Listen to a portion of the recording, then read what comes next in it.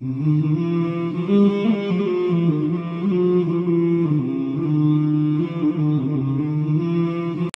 خیال کہ ہم قادری صاحب کے عقیدت مند تو بہت تھے، ہم تو ان کے ہاتھ بھی چومتے تھے، ان کے پاؤں چومتے تھے، قطار میں کھڑے ہو کے مسافے کرتے تھے، بہت مانتے تھے، ان کا درس آتا تھا، سارے کام چھوڑ کے بیٹھتے تھے، ان کی باتیں جی میں کھب جاتی تھی بس یہ اچھا نہیں کہ سیاست میں نہیں آنا چاہیے تھا۔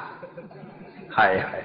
یہ سبق نصیحت جو مجھے دے رہے ہو، مجھ سے پہلے حضور کے نواسے حسین کو بھی دی ہوتی۔ کہ حسین امام تھے کائنات کے نواسا رسول تھے، دنیا قدموں کی خاک کا سرما بناتی تھی، مدینہ میں درد دیتے تھے، ساری کائنات فیض پاتی تھی۔ حسین کو کربلا جا کے گردن جزید سے ٹکر نہیں لینی تھی۔ یہ یزیدی تصور دین ہے۔ حسین کا تصور دین نہیں۔ حسین کا تصور دین وہ ہے کہ جو دین مسجد میں ہے، وہی دین اسمبلی میں بھی ہو۔ جو دین مسجد میں ہے، وہی دین سلطنت میں بھی ہو۔ یہ تضاد زندگی کا اللہ اور اللہ کے رسول کو گوارا نہیں ہے۔ پاکستان قائد اعظم نے جد و جہد کی جنگ لڑی اور حضرت پیر جماعت علی شاہ محدث علی پوری نے ساتھ دیا یا نہیں؟ یہ سیاست تھی یا نہیں؟ بولیے، پیر صاحب سیال شریف نے ساتھ دیا، میدان میں آئے، انتخابات ہوئے ریفرینڈم ہوئے، حصہ لیا، سیاست تھی یا نہیں؟ پیر صاحب گوڑا شریف میدان میں آئے یا نہیں؟ پیر صاحب مان کی شریف میدان میں آئے یا نہیں؟ بتائیے اس دور کے کون سے مشائق اولیاء اور صلحاء ایسے تھے جنہوں نے قائد اعظم کا ساتھ دے کر انگریزوں کے خلاف پوری سیاسی جنگ نہیں لڑی، کانگریس کے خلاف؟ نہیں لڑی؟ اگر سیاسی جنگ نہ لڑتے تو پاکستان بنتا۔ مثلا یہ سارے مشائق اور پیرانے کرام قائد اعظم کو یہ کہہ دیتے، بھئی یہ سیاست ہے، ہم اس میں نہیں آتے۔ آپ جائیں، آپ کا کام جائیں ہم تو بیٹھ کے مریدوں کو واز تبلیغ کریں گے۔ اللہ اللہ کا ذکر سکھائیں گے۔ یہ جواب دیتے، بن جاتا پاکستان؟ بولیے۔ پاکستان بنا۔ مستفوی سیاست کے نتیجے میں۔ درویشوں کی سیاست کے نتیجے میں، آؤ آج پاکستان میں اسلام کی جڑوں کو کاٹنے کی کوشش کی جا رہی ہے۔ وہ حکومت جو شریعت اور اسلام کے نام پر اقتدار پر آئی تھی آئی تھی کہ نہیں؟ آج اس نے حضور کی شریعت کو چیلنج کر دیا ہے۔ پاکستانیوں، پاکستان میں اسلام کی بقا کی جنگ شروع ہو چکی ہے۔ اسلام کے دفاع اور بقا کی جنگ شروع ہو چکی ہے۔ شریعت کے خلاف جو محاذ انہوں نے بنایا، علماء کے خلاف جو محاذ اس دور میں بنا ہے۔ فحاشی اریانی کا رنگ ٹی وی پر بے حیائی کا جو اس دور میں آیا ہے۔ اور شریعت کو چیلنج، سود کے حکام پر جو اس دور میں ہوا ہے۔ بولیے، پہلے دور میں بھی کبھی ایسا ہوا تھا؟ علماء کو گالیاں شروع کر دی علماء کو ساتھ ملایا، پھر ان کو ذلیل کیا۔ انا للہ و انا الیہ راجعون۔ چوالیس سال میں بڑے بڑے ظالم آئے، مگر علماء دین کی اتنی تزلیل نہ کی گئی۔ یہ تو ان کا حوصلہ ہے کہ پھر بھی ساتھ ہے اور علماء ساتھ آئے، اسمبلیوں میں سامنے بٹھا کر انہیں گالیاں نکلوائیں۔ سامنے بٹھا کر گالیاں نکلوائیں۔ زلیل کروایا۔ برا بلا کہا اور آج کے دن تک زلیل کروایا جا رہا ہے۔ ہو رہا ہے یا نہیں؟ اخباروں کی شاہ سرخیوں پر۔ ان سے فتوے دلوائے پہلے۔ پہلے اگلے دن واپس کروائے۔ پھر ہر روز اخباروں پر بیان دلوا کے ذلیل کرایا۔ حوصلے ہیں کہ یہ سب کچھ گوارا ہو رہا ہے۔ اس حکومت کا یہ منصوبہ ہے کہ ایک ایک کر کے علماء دین کو ذلیل کیا جائے۔ اور ملا کو گالیاں دی جا رہی مشائق اور علماء، میری درد مندانہ اپیل، ہاتھ جوڑ کے عرض کرتا ہوں، خدا کے لیے سن لو۔ اگر اب بھی آپ کی آنکھیں نہ کھلی اور اس دین دشمن حکومت کا ساتھ نہ چھوڑا، تو آنے والے وقتوں میں شاید آپ اللہ کے حضور مجرم نہ گردانے جائیں۔ اس حکومت نے چیلنج کر دیا مصطفیٰ کی شریعت کو۔ کہ سود کے بغیر نظام ہی نہیں چل سکتا بینکوں کا۔ اس کا مطلب کیا ہے؟ وہ شریعت میں جو سود کو حرام کیا گیا، یہ بڑی غلطی ہوئی۔ مانا یہی بنا کہ نہیں۔ اگر سود کے بغیر نظام ہی نہیں چل سکتا اور شریعت اس کو حرام کہے، تو نتیجہ خود نکال لے۔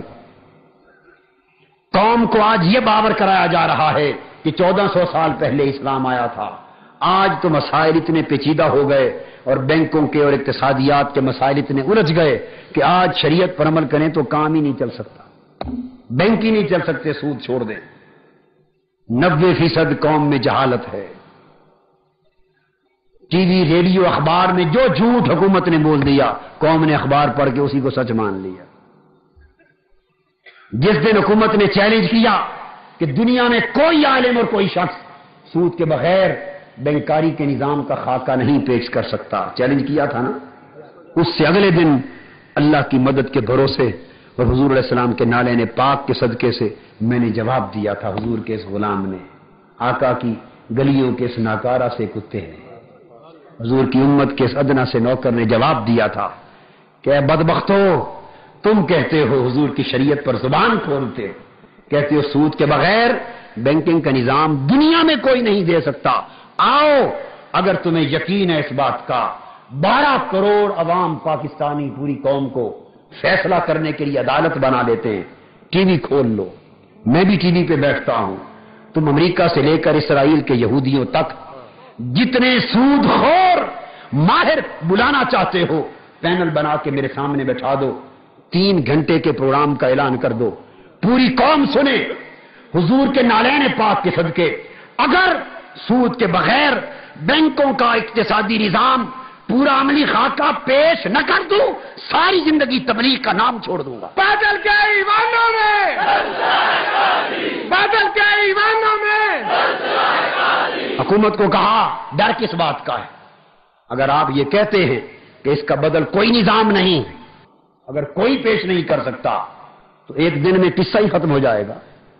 کھول دو ٹی وی پوری قوم سنے۔ فیصلہ ہو جائے گا کہ نظام پیش ہوا ہے یا نہیں ہوا۔ اور پھر آپ کے ماہر بیٹھے، وہ سوال کر لیں جب تک ان کے سوال ختم نہ ہو جائیں، اٹھ کے واپس نہیں آؤں گا۔ انہوں نے سمجھا شاید بس سارے مر گئے ہیں۔ جواب نہیں آئے گا، مگر جواب انہیں آ گیا۔ یہاں زندہ بھی ہیں۔ پھر انہوں نے ایک بہانہ بنایا۔ ٹی وی کی تو بات نہ کی، قوم کو امپریشن دیا۔ کہ کوئی نہیں پیش کر سکتا، وہ ہماری بات کو بالکل ہی گول کر گئے۔ مگر اخباروں میں پڑھی کہ نہیں تھی آپ نے؟ گول کر گئے۔ پھر میں باہر یورپ دورے پر چلا گیا تھا، دو تین مہینے آنا جانا رہا ممالک میں۔ واپس آیا تو بڑا دکھ ہوا پڑھ کے کہ علماء کو جتنی گالیاں اب شروع ہوئی چوالیس سال میں کبھی نہیں ہوئی آئیے، حکومت وقت کو میں نے آگاہ کر دیا ہے اور آپ کو بھی بتا رہا ہوں، مبارک ہو تمہیں۔ حضور کے دین پر، شریعت محمدی پر ان لوگوں نے حملہ کیا تھا۔ ہم نے جواب دینے کے لیے سات اکتوبر کی تاریخ، لاہور کا شہر موچی دروازے کا میدان مقرر کر دیا ہے۔ سود کے بغیر۔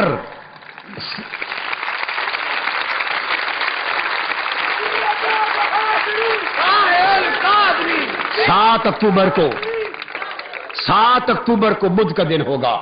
مغرب کے بعد اور جا کے منظر دیکھنا۔ آج تو صرف سن رہے ہیں نا زبان سے۔ اس دن دیکھنا کہ مصطفیٰ کی شریعت کی بہار کیا ہے۔ اللہ کے دین کا نظارہ کیا ہے۔